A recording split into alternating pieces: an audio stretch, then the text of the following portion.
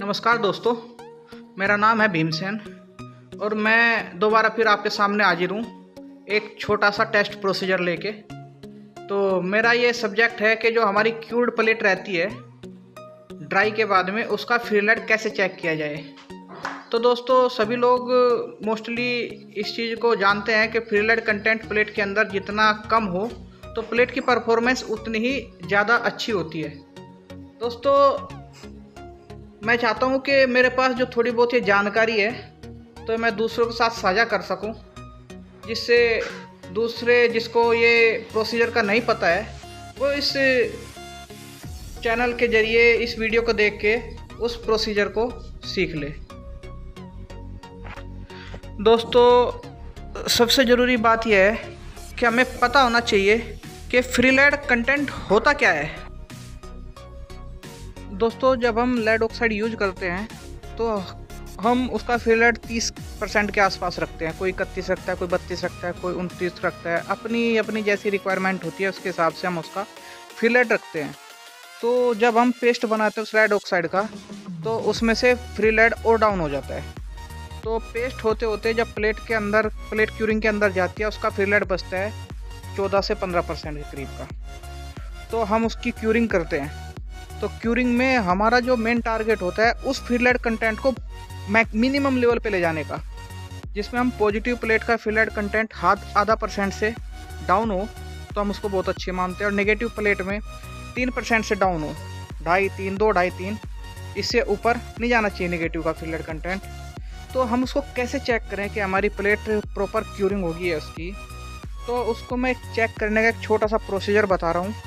तो अगर किसी के पास लैब है और अगर नहीं भी है तो इसके लिए इतना बड़ा सेटअप नहीं चाहिए, थोड़ा सा ही सेटअप चाहिए। तो चलिए दोस्तों, शुरू करते हैं।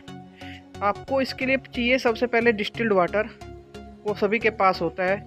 एसिटिक एसिड चाहिए होता है और एसिटिक एसिड के साथ में चाहिएगा हमारे को अमोनियम एसीटेट इसका एक प्रॉपर रेशियो होता है, उस रेशियो में हम इन तीनों को मिलाकर डिस्टिल्ड वाटर में एक सोल्यूशन तैयार कर लेते हैं। और जिस प्लेट का हमारे को फिलेट चाहिए होता है, हम उस प्लेट को लेते हैं और उसका जो पेस्ट है वो निकाल लेते हैं पेस्टेड किया हुआ, सूखी प्लेट का।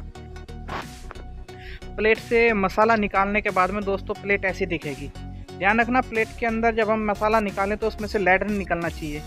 उस पेस्ट को हम इसके अंदर, खरल के अंदर पीस लेते हैं, अच्छी तरह से प्रॉपर तरीके से पीस लेते हैं, बिल्कुल बारीक।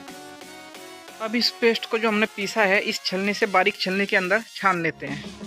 छानने के बाद में इसका इलेक्ट्रॉनिक वेट जो रहता है ना वेटिंग वीविंग स्केल बहुत ही छोटे वाला जो एक ग्राम की भी एक्यूरेसी दिखाते हैं। उस स्केल पर इस पाउडर का पाँच ग्राम वेट कर लेते हैं। और इसको एसिटिक एसिड का जो हमने अमोनियम एसिटेट और जी डिस्टिल वाटर का जो सोल्यूशन तैयार किया था, उस सोल्यूशन के अंदर इसको डाल देते हैं। अच्छी तरह स्टिर करने के बाद में इसको हॉट प्लेट पे रख देते हैं। जब ये अच्छी तरह उबल जाए उबल जाने के बाद इसको निकाल लेते हैं और अच्छी तरह वॉश करते हैं इसको। इसका जो सॉल्यूशन होता है उसको फेंक देते हैं और इसको अच्छी तरह डिस्टिल वाटर से वॉश करते हैं। जब ये अच्छी तरह वॉश हो जाता है तो इसको वॉश करने के बाद में जो इसके अंदर का कंटेंट बचता है, उसको वॉच ग्लास के अंदर ओवन के अंदर रख देते हैं ड्राई होने के लिए। तो इस ये करीब 10 से 15 मिनट लेता है ड्राई होने में। जब ये प्रॉपर तरीके से ड्राई हो जाता है तो इसको बाहर निकाल लेते हैं। बाहर निकालने के बाद में वॉच ग्लास से जो ड्राई हुआ मटेरियल है, उसका वेट करते हैं। अब उसका वेट करने के बाद में जो हमारा वेट निकल जाता है, वो हमारा कैलकुलेशन के थ्रू फ्रीलैड कैलकुलेशन आ जाती है। ये कैलकुलेशन आप लोग बड़ी आसानी से कर सकते हैं। इसमें कोई इतनी बड़ी रॉकेट साइंस नहीं है। दोस्तों 97 से मैं बैटरी फ़ील्ड में काम कर रहा हूँ। तो जो जानकारी थोड़ी बहुत मेरे को है, मैं चाहता हूँ वो आप लोगों तक पहुँचे। और आप लोग उसका ज़रूर फ़ायदा उठाएँ। अगर ये जानकारी आपको अच्छी लगी हो, आपके काम की हो तो मेरे इस चैनल को लाइक करें, शेयर करें और सब्सक्राइब करें। और सबसे ज़रूरी बात नोटिफिकेशन का जो बटन है, उसको ऑन कर दें ताकि जब भी मैं कोई नई वीडियो डालूँ, आप लोगों तक पहुँच जाए इस वीडियो को दूसरे बैटरी बनाने वाले भाइयों तक भी कोशिश करें शेयर करें। तो दोस्तों, मैं आज से कोशिश करूँगा, बैटरी वाले सब्जेक्ट पर, इस कंटेंट पर एक दो वीडियो हफ़्ते में ज़रूर डालूँ। तो आज के लिए इतना ही दोस्तों नमस्कार।